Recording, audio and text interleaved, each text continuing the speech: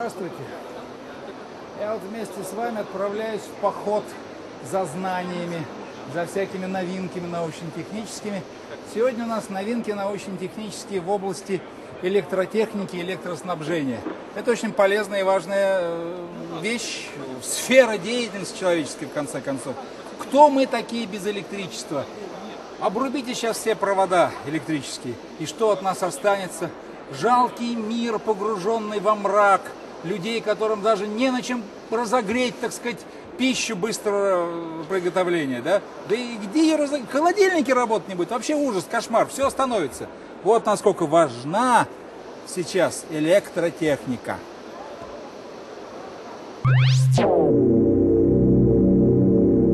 Это только провод на очень высокое напряжение, на 10 тысяч вольт, представляете? Ну, соответственно, токи большие. Он как я, клемма, а? И проложен, проложены эти токопроводы, все три фазы, в большущей металлической трубе, естественно, в стальной. Что значит проложены? Они там подвешены на галтелях, вот это вот изоляторы. Вот на этих изоляторах она там закреплена. А он, то есть только, правый, только ведущая шина, то есть все-таки она. А вот это вот расстояние, это как раз расстояние, в котором, значит, гарантируется отсутствие пробоя в, в так сказать, воздухе. И воздух-то должен быть сухой, а лучше всего заполнить это пространство или газом. Как видите, очень сложная конструкция. Знаете, вот по всей, а, по всей, значит, территории электростанции идут такие трубы. Трубы должны быть очень четко поставлены. В этих трубах на изоляторах установлены так и ведущие шины. Ну, в общем, очень сложная вещь. Насколько проще можно сделать без всего этого. Есть, оказывается, некая инновационная технология, которая чуть-чуть не дотянула до звания нано. Не по размерам, конечно, своим на, наружным, а по размерам частиц, из которых вот, эти, вот эта вот изоляция не состоит. Пойдемте посмотрим на ту изоляцию. Пошли скорее.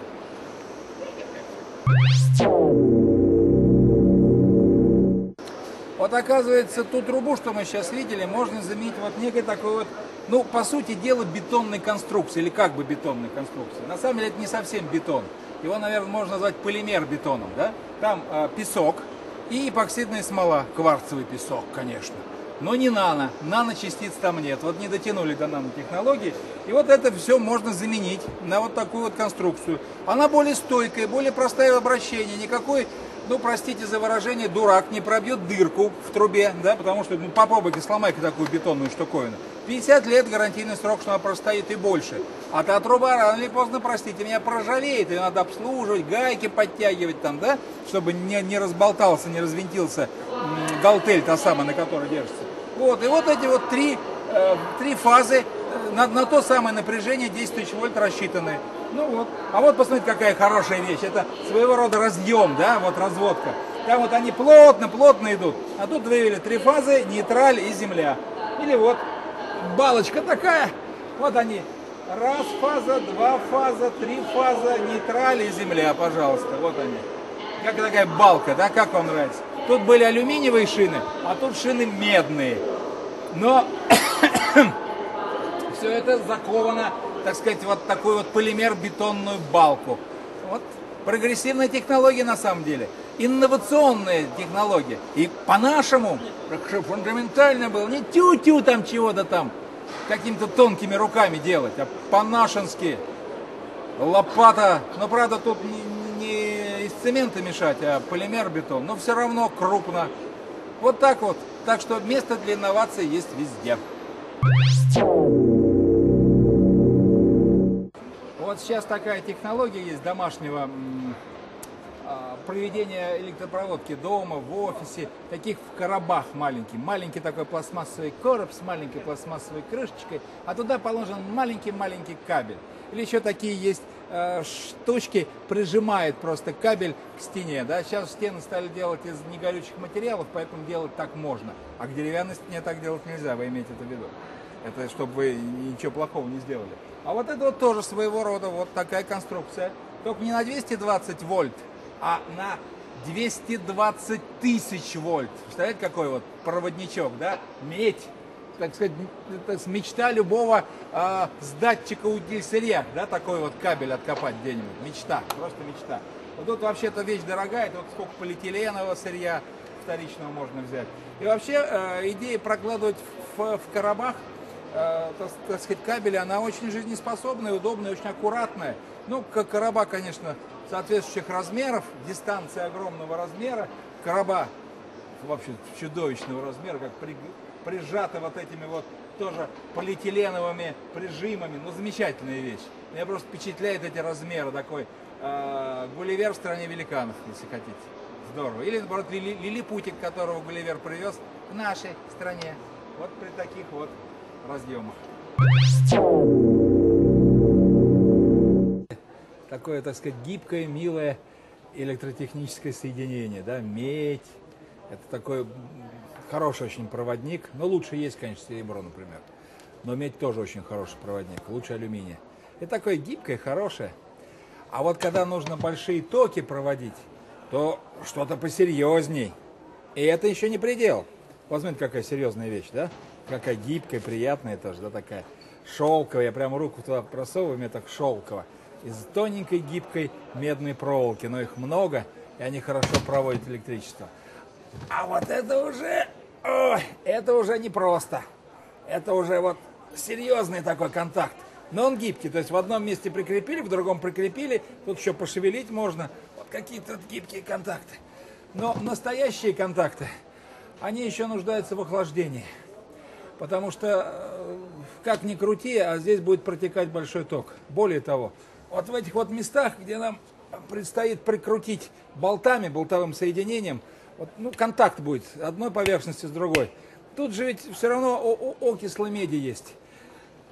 Сопротивление будет повышенное, здесь будет греться. Кстати говоря, обратите внимание, в ваших всяких вот эм, шнуровых соединениях, вот как это, вилки, которые вы в розетку включаете, там то же самое может быть нагревание. И так вот розетки иногда горят из-за того, что кабель вроде исправный, а контактик не очень хороший. А вот это как раз очень хороший контакт. Так самый хороший контакт, тот, который еще о, будет охлаждаться. О, видите, вот там вот, там что? Да, там очень гибко. Там вот нечто подобное находится. Но а, по вот этому резиновому шлангу протекает охлаждающая вода. С одной стороны втекает, а с другой вытекает. Вот так можно даже поиграть. Вот, вот какая вот замечательная вещь. Вообще э, вещь вроде простая и такая, ну как сказать-то, ну как бы дубовая, да, вот металл и все проводящий. Но, а как, как сделан хорошо, какая она мягонькая, каждая по отдельности, да, как с них удобно, приятно работать. Вот прям рукой глажу, ни одного заусенчика нет, ничто не втыкается. Медь, вот, медь, это замечательная вещь, медь, электротехника контакт, есть контакт. Видите вот эту такую рифленую поверхность? Это контактная поверхность. Она и, и одна из, и один из элементов выключателя. Вот это вот для передвижной электростанции, трехфазная электростанция, что-то там на, на тысячу киловатт, никак не меньше, может даже больше. Вот, три фазы, нейтраль и земля, так положено. И вот один из элементиков, вот он контактор. Вот когда мы туда его опускаем, а вот, вот туда можно пускать, видите? Вот там-то он и контактирует с кем, с кем нужно. Вот он, контактор. Вот. А вот тут вот к нему прикреплен кабель медный, который подает напряжение. Это если вы снимаете фильм, например, какой-нибудь блокбастер типа «Война и мир», Бондарчук, Пьер Безухов и все прочие. Тут огромное количество фонарей горят. Вот, ну и так далее. Много чего там может работать. Вот. И это главное тут в чем, в чем вся идея? Э, в том, что вы по, по, отдельности подключаете эти кабели. Вот вы подключили два кабеля, может третий подключать. А собрались выключать кабели, раз, все, не подключите. Пока все кабели не подключите, ничего не заработает. Вот так вот. Вот такая вот история. Вот. Законтактировали. Оп, оп. А когда первый вставляем, вот этот вот ключик закрывать. Ключик вынули, все, электростанция закрыто на учет. Но меня впечатляет, что ну, ничего вроде так принципиально сложного нет. Но это же э, выключатель, который... Это вот то, что у нас а, розетка, да, дома. Вот это вот вместо нее, но на, на настоящие килоамперы, да, на настоящие вольты, на настоящие электростанции, которые походные питают, скажем, съемочную группу или какой-нибудь радар, или что-нибудь еще в этом роде. А э, группу МЧС режут чем-нибудь там, э, арматуру в рухнувшем при землетрясении здании. Это вот оно. Какой красивый дизайн у этой лампочки, да? Но эта лампочка не горела бы, если бы не было проводов, подводящих к ней электрическую энергию. О, проводники. Так вот это очень интересные вот провода, это называется лакированный провод. Вообще, это я так называю лакированный. По сути дела, действительно, они покрыты лаком. На самом деле это называют эмаль провод. Это вот э, медный, медный проводник, толстый такой вот проводник, покрытый, покрытый слоем лака. Лак не просто тебе для, для красоты, а он изолирует один виток от другого витка. Это с тем, чтобы вот эту, этот проводник можно было использовать в качестве э, ну, катушек, да, которые наматываются в трансформаторах, в электрических двигателях, вот для них. Да? Вот они, вот. И чтобы это выдерживалось межвитковое напряжение, да, между витками возникает некое напряжение. Катушечка тяжелее, тяжеленькая, медь, она тяжелая. А вот эта катушка удивительно легкая, с виду как будто медь, да, вот она легенькая, но не медь. Это алюминий, покрытый лаком. Я вот лично первый раз вижу алюминиевый провод лакированный. Вот теперь, оказывается, его тоже используют в намоточных изделиях. Ну, я вот как-то от этого вот упустил в свое время.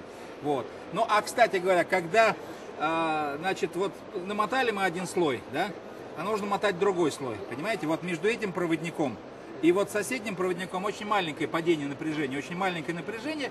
Пробой здесь вот этот слой лака гарантирует его отсутствие. А вот представьте, вот сюда намотали слой, стали мотать обратно. И вот между этим слоем и следующим слоем, о, сколько витков, напряжение большое, как быть? Приходится этот самый слой оборачивать неким изолирующим материалом. Бумага или слюдяная бумага. Этот замечательный объект, называется он слюдяная бумага. Делается почти так же, как бумага. Как делают бумагу? Берут, э, делают пульпу из э, значит, древесного волокна, например, да, или из хлопка. А это делают пульпу, измельчают слюду. Что такое слюда, вы знаете, такие пластиночки, да? Ну, вообще слюда это замечательная вещь, ее в качестве таких прям слюдяных окошек в некоторых приборах использовали раньше, ну, наверное, используют и теперь. А, в качестве изоляторов в а, электронных лампах это использовалось. А тут вот такая пыль. И эту пыль смешивают с полимером, полимерные связующие, получается вот такая вот бумага, полимерная бумага. Ну, вернее, не полимерная бумага, а слюдяная бумага. Слюдяная бумага используется в качестве изолятора. Знаете, вот э, еще сейчас встречается бумажная изоляция у проводов. Да? Берется, значит, провод, специально электробумагой, значит, он изолируется. Это используется обычно в неких объектах, заполненных, так сказать, маслом. В маслом наполненных кабелях, в маслом наполненных трансформаторах. А это вот обычно в сухих трансформаторах, насколько я понимаю. Ну, наверное, можно и маслом наполненных использоваться. Используется вот эта вот слюдяная бумага. Ею изолируют проводники, значит, пучок проводников, значит, очередной, так сказать, как сказать-то, а, ну, фазы, скажем, да, если там у вас трех, трехфазный трансформатор, или входное напряжение, выходное напряжение, ну, все вместе оно обматывается по отдельности. А в электродвигателях, там, знаете, у них очень такая вот сложная структура вот этих ротора, статора, пазы, и в этих пазах укладывается как раз э, об, обмотки электрические. Так вот, а, э, сам, сам этот паз выстилается вот такой вот, ну, я бы его назвал, а, так сказать, изолирующий, так, так, так сказать, картон, да, но это не картон, это вот такая тоже на базе слюды изоляция плоская, но она уже не такая гибкая, твердая, ей выстилается паз. А электродвигатели бывают и грандиозных размеров, и, кстати, электрогенераторы тоже, ну, там, ну, я не знаю, с дом большой, да, Представляете, какая-нибудь электростанция большая или еще что-то в этом роде. Вот, что там только не бывает. Вот такие вот дела.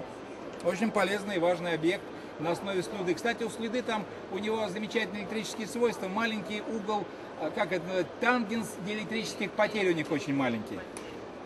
Вот, и за счет, э, и поэтому э, потери на а, значит, электрического поля в них, они очень маленькие. Да? И вот за счет этого вот слюда-то до сих пор и держится. Да? Сейчас-то все у нас искусственно. Это вот естественный натурпродукт, что называется.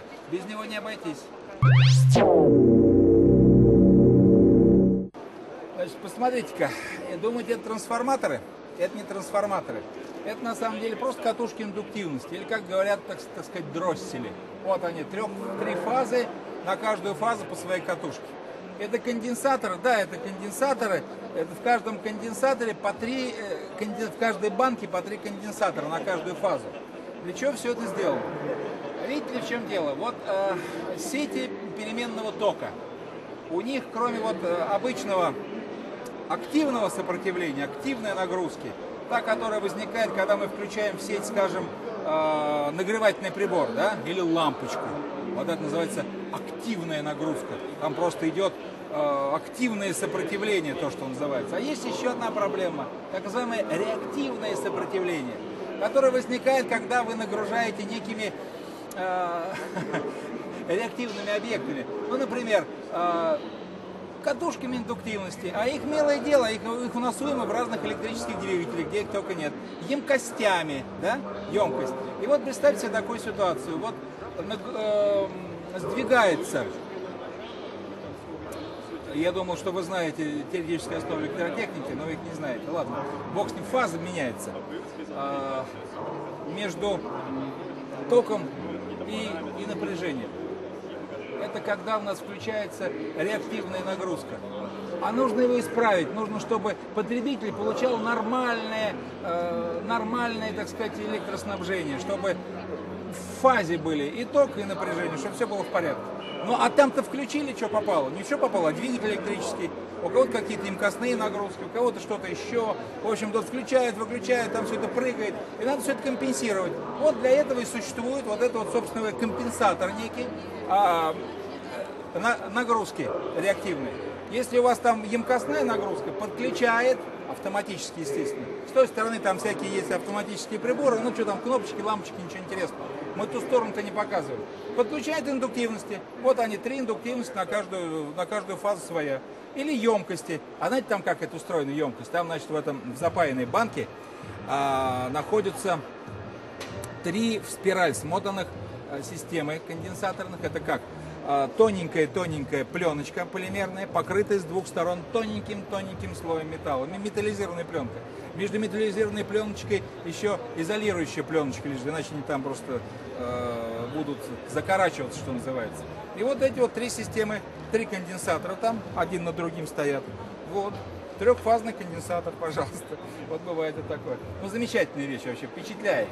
Меня лично впечатляет прикоснуться своими руками к электротехнике. Но она хорошо, что сейчас она обесточена, поэтому можно касаться. А так вообще касаться нельзя. Убьет, даже прям обугливание происходит. Страшное дело. Смотрите, какая интересная вещичка. Это, между прочим, э, шарик подшипника. Вообще-то шарик подшипника и втулка. видите, вот, ну, просто замечательно. Вот такая вот большущая-большущая поверхность, вся в шариках. Шарики крутятся, вертятся, что хотят, то и делают. И вот это вот шарик подшип, шариковая втулка, или не знаю, шарик подшипниковая втулка центрирует объект. Это, вообще-то говоря, объект для того, чтобы э, штамповать изделия из стали. Например, из листовой стали для того, чтобы изготавливать подш... э, трансформаторы, например, или электродвигатели. Вот какая втулочка симпатичная. Правда здорово?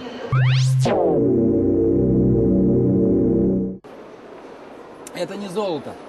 Это на самом деле только выставочный образец, красивое покрытие. Ну, позолоченное, конечно, чтобы не было коррозии.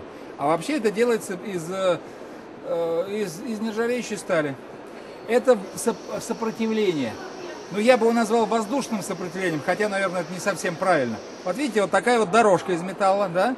И вот они, вот, вот они. Здесь где-то входная клемма и выходная. Да? Вот, например, вот, пожалуйста. Входная клемма, выходная клемма. Это все в сборе, вот такое огромное сопротивление. Если вам нужно сжечь, сжечь большую энергию, а бывает нужно, э, например, у вас э, остановился э, ветрогенератор, да, вот который вот от ветра работает, крутит лопасти. Ну все, он уже отключился от сети, ну, он уже маленькие обороты, но он уже производит энергию. Куда энергию отправить? Ее сжигают на таком вот нагревателе. Он нагревается. Тут все вот это высокопрочное, это керамика.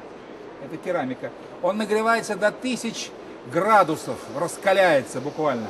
Значит, как там U квадрат делить на R, это выделяемая мощность цепи. R относительно небольшое, тут каждое звено там десятые доли Ома, но U-то большое, вот эта вся мощность здесь сжигается. И еще это применяют на испытаниях, скажем, мощных электродвиг... электрогенераторов э, в судостроении. Там, значит, как теперь у нас везде э, электроходы, да, э, дизель-генератор вращается, вырабатывает электроэнергию, и, э, значит, электромотор должен двигать, значит, грибной вал, да, грибной вал, грибной винт, простите. Вот. А, а на испытаниях вот электрогенератор куда девать энергию? Вот сжигают на таких вот сопротивлениях э, любые электростанции дизельные испытывают на чем? Вот на такое сопротивление сжигает энергию. Тормозится состав, и вот э, тормозится как он? Не просто колодки прижимаются к тормозам, но электромоторы включаются, инвертируются, превращаются в электрогенераторы, и сгенерированную электроэнергию куда отправить? Вот опять вот на такие вот сопротивления воздушные. Вот такая вот важная электротехническая вещь, простенькая. Своего рода нагреватель, кстати говоря. Да, наверное, по большому счету можно им обогреваться. Знаете, какой калорифер нагретый до 1000 градусов, через него продувается поток воздуха, наверняка охлаждается воздухом и выбрасывает его в атмосферу. Но меня впечатляет, особенно меня удивляет такой золотистый цвет.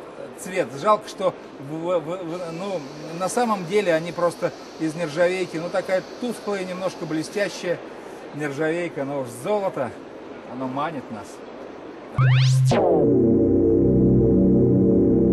Вы думаете, это какое-нибудь инопланетное оружие?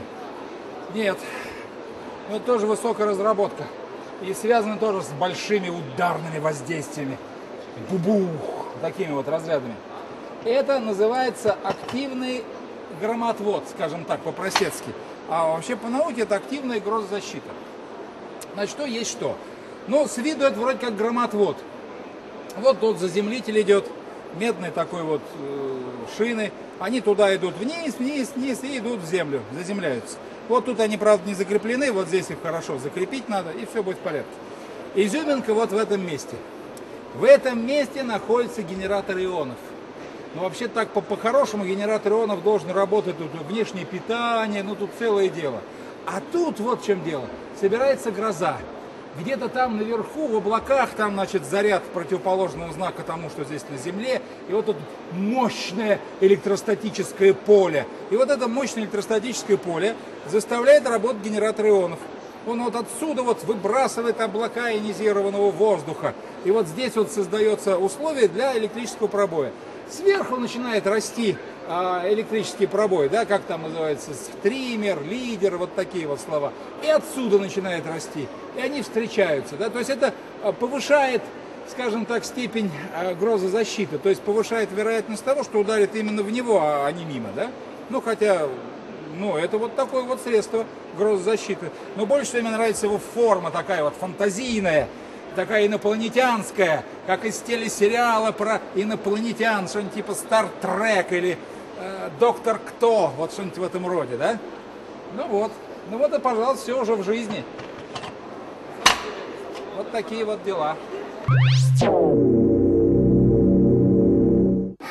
Если бы знания имели вес, который можно измерять в килограммах или в тоннах, то, наверное, мне бы тяжело было по жизни нести даже этот чемодан с теми знаниями, что я приобрел сегодня, пока готовил эту телепередачу.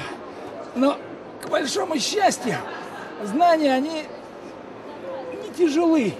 Их легко нести по жизни. Понимаете как? Чем больше знаешь, тем легче воспринимаешь удары судьбы, тем легче идти с этими знаниями по жизни, широко расправив плечи и распрямив позвоночник. Вот так вот. Ну, желаю вам удачи и всех благ. Приходите к нам еще на следующую передачу. Пока, удачи, не забывайте нас.